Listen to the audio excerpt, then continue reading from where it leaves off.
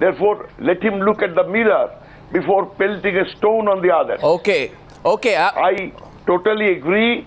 I totally agree that the politics of intimidation, politics of abuse of power, politics of violating law of the land should be absolutely given a goodbye My- to my great- my- by all political parties, by all political parties, and there should be strong public opinion against the use of the state power in favor of a particular I- group of people I, or in I, favor of I, I am simply uh, the reason the reason we are picking up this story tonight, even before we discuss what has happened with the TMC's non-starter of a threat vis-a-vis the government to pull out support in New Delhi, is because it's terrifying, isn't it, Neerja Chowdhury? But before Neerja Chowdhury, Nirmala Sitharaman, isn't it terrifying?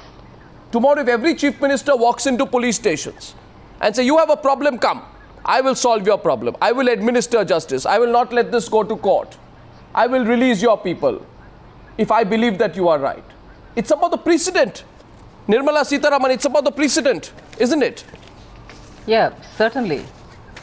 Certainly, it sets a precedent. And uh, as Swapan was saying, uh, the chief minister is still functioning like an activist, forgetting that she is the chief minister and she has constitutionally provided ways of establishing the truth if somebody was brought to the police station on a certain allegation.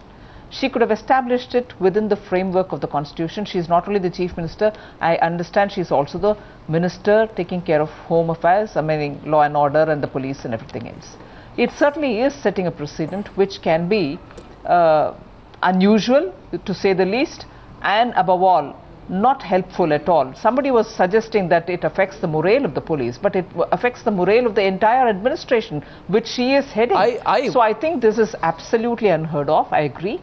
But I'll certainly straight away pick up on the Communist Party representative who, for want of either saying, first of all, I think he should say whether it was so during uh, the communist regime as Swapan is alleged, rather than saying, look at Gujarat. I think Gujarat is completely peaceful. And if anything, if there is a question asked, the chief minister has submitted himself for inquiries, and there is no way in which you can even think of no, this is- comparing what has happened in the last 30 years in Bengal, either on developmental issues or on law So and my order. simple question I think is- what the communist representatives should first learn from Gujarat is how to run the state to develop it for the welfare of all the citizens equally. So- but more pertinent to the point is why doesn't the communists say whether this was the trend set by them instead of answering that to have to say oh no that's wrong i think is deflecting from answering directly I- on the question I- I'm going to they have definitely brought in a culture Sure. both in kerala and west bengal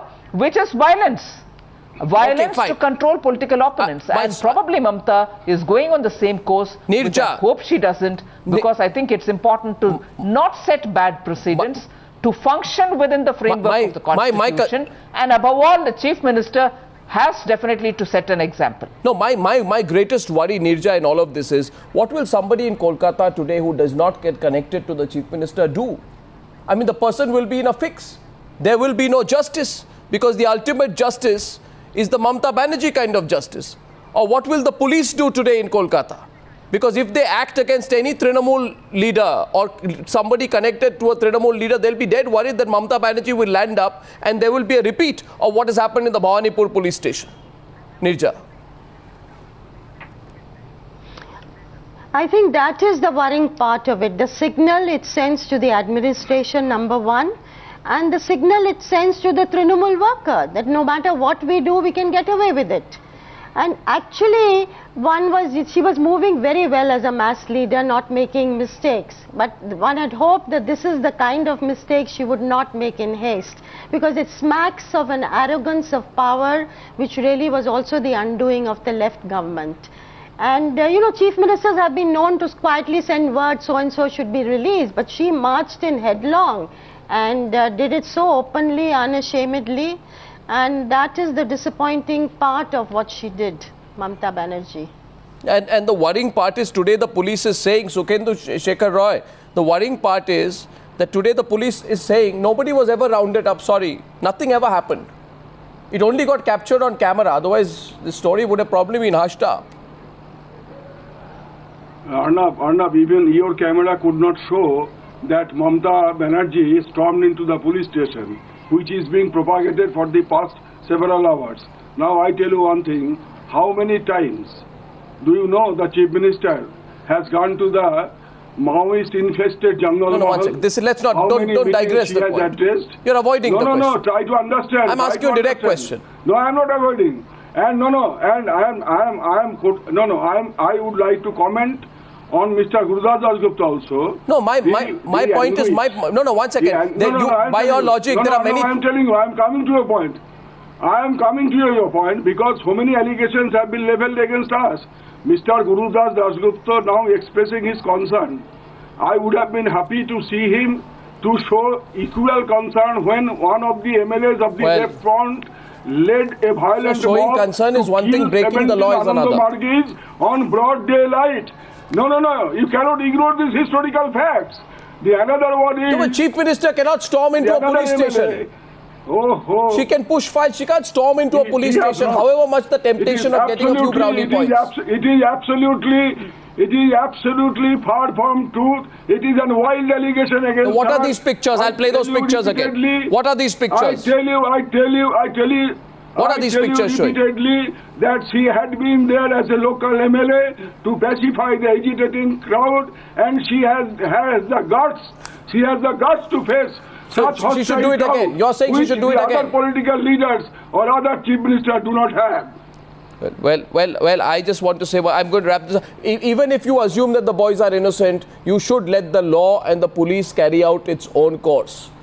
Many innocent people may be rotting in jail, but you have to let uh, the chief minister has to first uh, see the way the, the, the process is set up. I, I, I think we'll keep debating this. I don't think we'll agree. I leave this Oh, no, question oh, no, to our no, viewers no, tonight. I share, no, no, I, no, no, I share you. Sukhendu no, no, I share with your views. I share you. To, I I'm share your views to the extent, to the extent, to the extent, you- to the extent that it is the primary duty of the law enforcing agencies Yes. to maintain law and order. No, it is- But had there been any ulterior motive on the part of the chief minister, she could have rang up the local police station Hmm. for the release of those boys.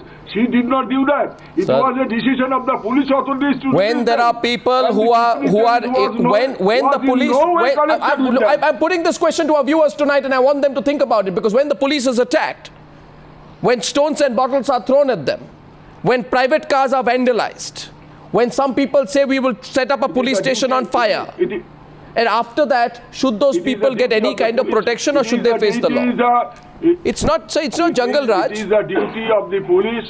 Oh, oh. it's not a, oh, oh, don't characterize in that way.